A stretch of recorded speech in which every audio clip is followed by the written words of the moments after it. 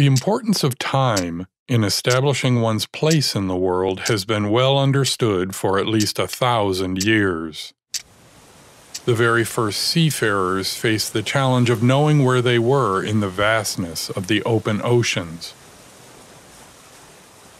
Establishing your position north and south was easy. Guides like the sun, the moon, and the North Star provided even early mariners their latitude with precision. Longitude, your position east and west, however, was always a challenge due to the constant rotation of the Earth. With the heavens in constant motion, sailors could be off hundreds of miles in a matter of days. The premier seafaring nations offered prizes to anyone who could solve the ever vexing longitude problem. The prizes went unclaimed for nearly a century and a half. The most popular solution was timekeeping. If you knew the precise time at your point of origin and compared it with local heavenly observation, you could know exactly how far east or west you had traveled. But pendulums, the regulators of the most accurate clocks of the period, were useless on the rolling seas. Finally, a series of innovations in the 1700s resulted in clocks that worked even there. The longitude problem was solved, and time, it seems, was the solution to knowing where you were. Time is still at the core of knowing where you are some 300 years later Satellite navigation systems, like GPS in the United States, are based entirely on time. Dozens of extremely precise clocks, accurate to a picosecond, a trillionth of a second, broadcast the time continuously from their fixed locations. Your simple receiver compares the time from a number of satellites and with some basic math can determine your location on the planet, accurate to as close as a centimeter. And as a byproduct, your car, phone, or smartwatch are incredibly accurate timekeepers. Time, it seems, has long been at the very root of knowing where you are. It's especially true in organizations. And that's what this is all about.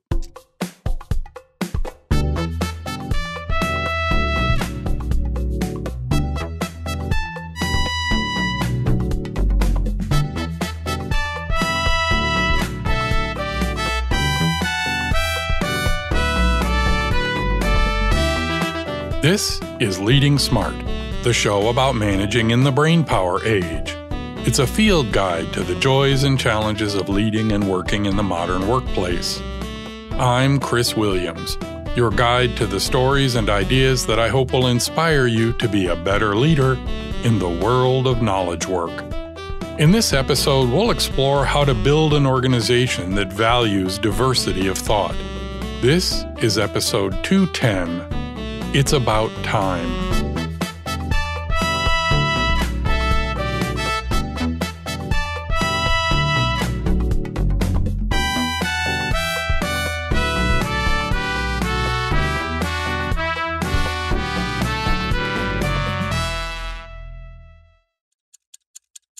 Time is often used as a metric for experience and wisdom.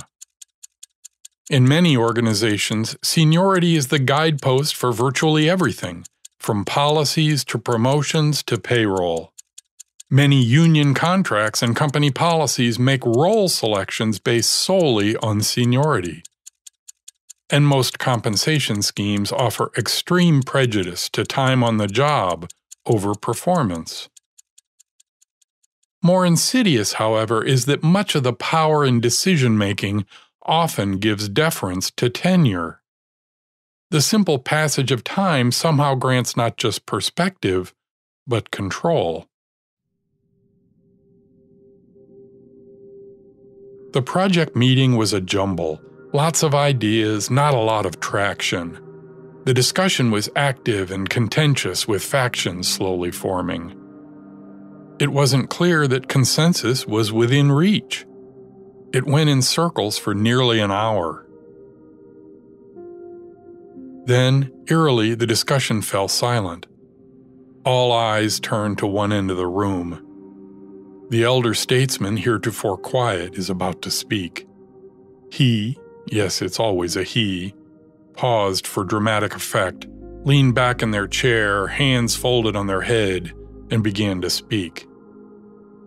He'd been ridiculed in the past, so he avoids saying, Back in my day, or What we've always done is. But the effect is the same. The room nodded in unison as the oracle spoke.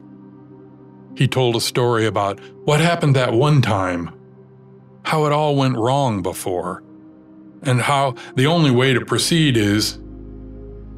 Well, it didn't matter. Somehow the weight of the discussion was changed and the tenure of the oracle swayed the decision. Shortly thereafter, the meeting ended. The result was unsatisfactory to most. Many of their objections were simply swept aside. The project lumbered down the path championed by the elder statesman. He quietly beamed. The rest wondered what just happened. But it is what it is. At the other end of the spectrum are companies that have recognized this folly. They've read The Innovator's Dilemma. They know the danger of, that's the way we've always done it. They strive to be disruptors. Their cultures develop antibodies to this behavior. They push against this kind of thinking reflexively. Many overcompensate and dismiss age and wisdom as a matter of pride. That's old school, they say, and press on disrupting. Both, of course, are wrong. The oracle is often wrong in light of current conditions, and the new idea that rejects the past is bound to repeat it. Both positions mistake the age of a notion as a proxy for its value. But more importantly, both positions also tend to confuse the messenger with the message. Some are summarily dismissed as youth and inexperience, others as old and out of touch. Here again, time alone is seen as the measure of value, not the value of the idea.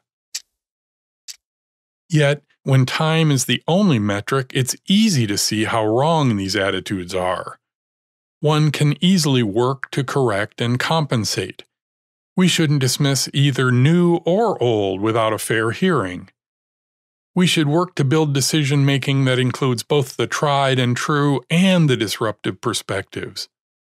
Though difficult to implement, these are easily seen as the right thing to do.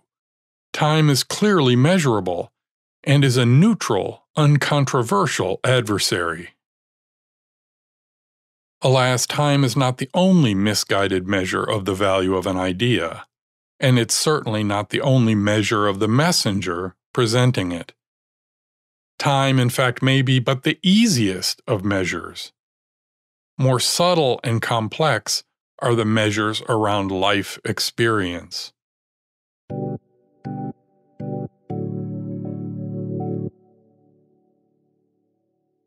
When building an organization that is striving to excel, limitless ideas, vibrant discussion, and the freedom from ridicule are the foundations of the creativity that achieves it.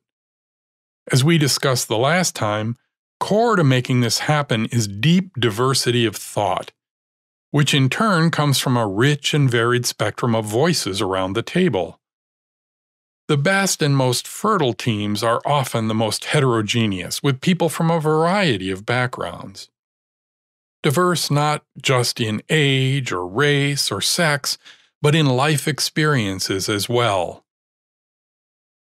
Teams like this can be a challenge for a leader, however. Along with this variety comes, by definition, a range of patterns of speech, of modes of thought, of reactions to challenges. It can tax even the most skilled moderator.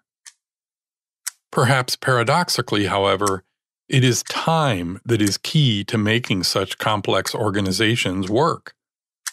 Time can be a leader's most valuable tool in building teams. Time in many dimensions.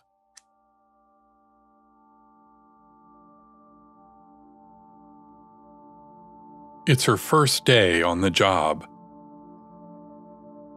She walks into the dark glass building from her bus stop. It's enormous and complex. She's feeling a moment of panic, both physically and mentally lost. She's determined to be successful, but arrives without an ally in the world. All around her, there are people bustling here and there. She sees no familiar faces, not even someone who looks like her. She again feels a slight panic. Even though she speaks the language, they might as well be talking Mandarin. Every conversation is filled with acronyms. Every bit of levity is an inside joke. The more people she meets, the more she realizes she shares no experiences with them. It seems like they all went to the same schools, lived the same life. Even the simple customs are different. There's a whole array of unspoken norms she's never seen. She begins to question her life choices. But it gets better. She found the bathroom and the cafeteria on the first try. Within a few days, the job became clearer. Some people in nearby cubes were thoughtful. This might be okay, she thought. One day, her team meets to discuss an exciting new project. It's a fascinating, bold concept. The customer is a big deal, and she can't wait to pitch in. Ideas are flowing, the pace in the room gradually accelerates. Everyone seems to have something to add. The excitement in the room is beginning to build. This could be great. Everyone seems to be talking at once. She sees an opening and tosses in an idea. It gets trampled instantly, dismissed out of hand. I wonder why, she thinks. Maybe my idea was just silly. Or maybe. A few days later, in a subsequent meeting, it happens again. She barely finished the sentence before she was drowned out. Now she's beginning to notice a pattern. No one takes me seriously, even around the lunch table. Is it because I'm new, because I don't have any experience, or is it because it's me? Then the third time it happens, there's a different leader in the room. He's the head of a group coordinating with her team. His style is completely different. The pace of the room is still fevered, the discussion is still animated, but it feels different. She steels herself, tries to dip her toe in the water, to see if she can get something said. And this time, when she speaks, it's different. Someone tries to talk over her, and the leader interjects, Hey, let her speak. She manages to get her thoughts out and waits. The room is quiet. The leader pauses just long enough, maybe to the count of three, and says, So, how would that work? A vigorous discussion ensues. Her idea isn't adopted, but she can tell it's steered the conversation. She marks it up as a win. As the meeting goes on, she notices this leader gently guiding the discussion, pausing the conversation every so often long enough to leave gaps for the less aggressive types to find their voices, actively encouraging the quiet members to join in. When they do, he gently protects them from the swarm. A follow up meeting happens a few days later. She notices the leader isn't actively killing the discussion, just controlling the pace, tamping down aggressive or derisive behavior, interjecting themselves with a calm and steady voice that seems not to change the discussion, just focus it and manage the tempo. She found more openings and managed to make real contributions this time. Maybe it's not her, she thinks. Maybe it never was. All I really needed was time. The time to find my voice. The time to get my footing. The time to fit in.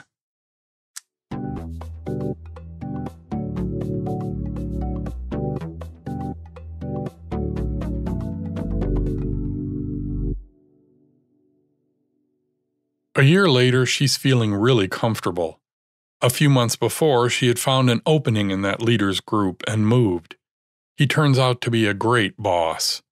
What she notices is that he's always got the time time to handle a quick question, time to offer a little encouragement, time to help her find her way. Their one on one meetings are particularly helpful. He doesn't spend much time on the status or details of her work, he seems to feel she's got that under control. They spend most of their time on understanding how the organization works, how to get things handled, where the sticky parts are, how to get ahead. Most helpful are the times he just stops by her desk and listens. Sure, there's the obligatory check in on the work, but mostly it's just about her and how she's doing. Maybe a quick pointer on how to handle something, or connection with someone who can unblock a problem. She appreciates the time he spends. No, it's not a lot, but with his busy schedule, it's invaluable.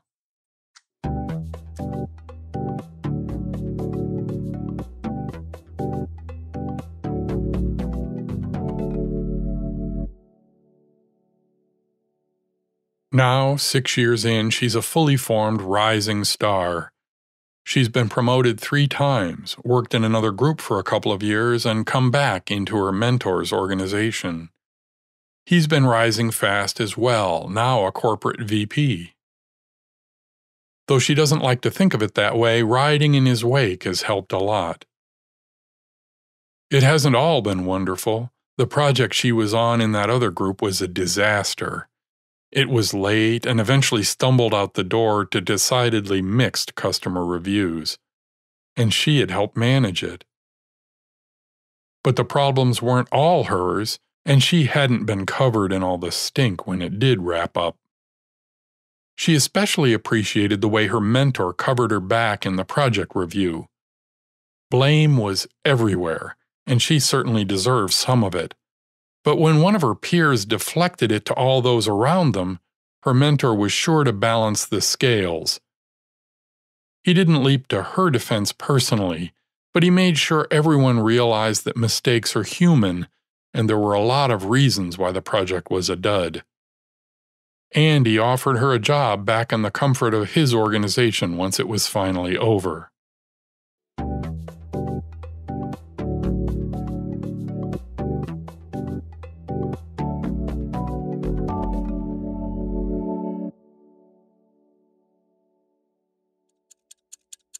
She now has some perspective and realizes that all she really needed was time.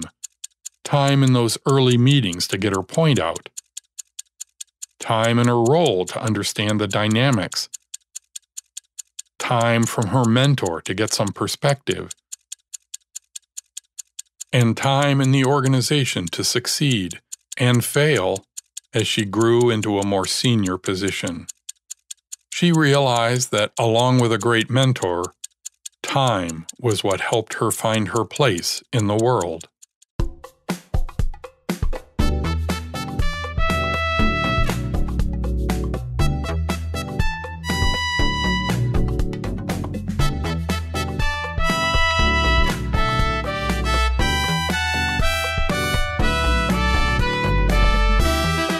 Leading Smart is from me, Chris Williams. You can find out more about the show and discover other resources for leaders at my website, clwill.com. If you like the show, please share it with your friends, especially on social media. Referrals are the greatest source of new listeners. I'd also love your feedback. I'm the CL Will on Twitter, LinkedIn, and Facebook, or send an email to pod at clwill.com. That's it for this episode. The next episode is another of my conversations with leaders. We talk with David Risher, the man who led the transformation of Amazon from a bookstore to an everything store. These days, he leads Worldreader, a global effort to enlist a billion readers. We talk about the joys and challenges of leading in the not for profit world. I hope you'll listen. Until then, please remember that each of the several dozen decisions you make today are part of Leading Smart.